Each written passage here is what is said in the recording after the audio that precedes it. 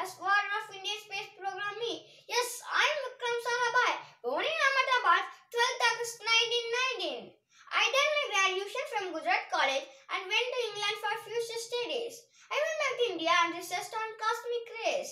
I did the use of phenomenon scientist Dr. C.V. Raman. Science was a passion for me from early age. I went back to Cambridge in 1945 and then PhD on the use of cosmic rays, investigation and tropical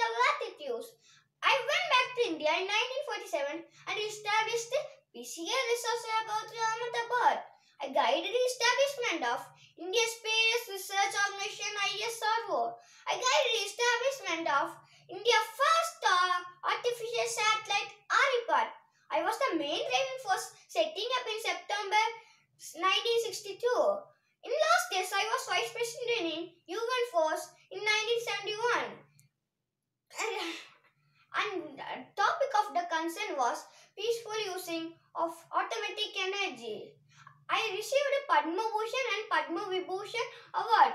NASA honored me, named a great hormone. After my name in 1974, I was not interested in making money, but I always interested in contribute to society. Thank you.